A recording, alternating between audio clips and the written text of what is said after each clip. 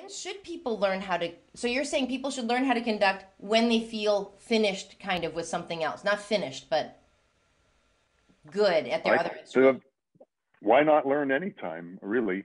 Uh, I, I- I think learning learning earlier about that does something really important, which otherwise might not happen, which is to hold a piece of music internally and then be able to to emanate it.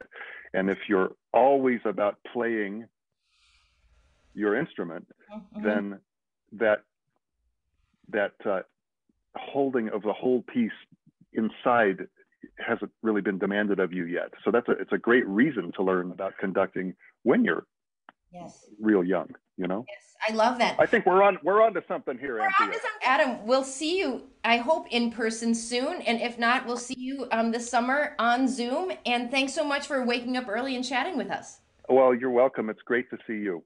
You too. Okay, take care, Adam. Take care. Okay, bye.